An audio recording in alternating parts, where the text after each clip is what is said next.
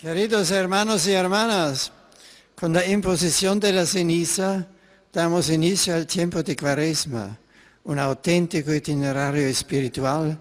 que nos prepara para celebrar el misterio pascual de Cristo. La ceniza nos recuerda nuestra condición de criaturas, al mismo tiempo que se nos invita a la penitencia y la conversión, para que tomando la cruz de cada día, sigamos al Señor y lleguemos así con Él a la, victoria de la vida y del amor. En la acción litúrgica, Cristo se hace presente por medio del Espíritu Santo, nos introduce en su escuela,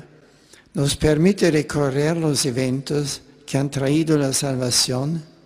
y nos hace participar en su muerte y resurrección. Los domingos de cuaresma guían al creyente a reavivar el don del bautismo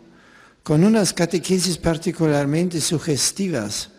en las que se anuncian las exigencias y los esfuerzos que están en la base de la vida cristiana para renovar la opción definitiva por Dios. Este itinerario cuaresmal está también caracterizado en la tradición de la Iglesia por el ayuno, la limosna y la oración, como prácticas externas que con la ayuda de Dios deben dar vida a una realidad interior, nuestro compromiso sincero por vivir el Evangelio. Queridos amigos, en este camino cuaresmal os invito a acoger la invitación de Cristo,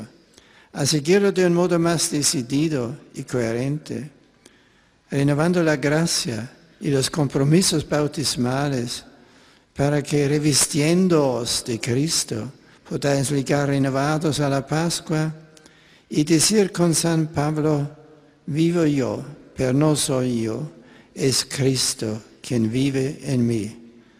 Desea a todos una santa cuaresma.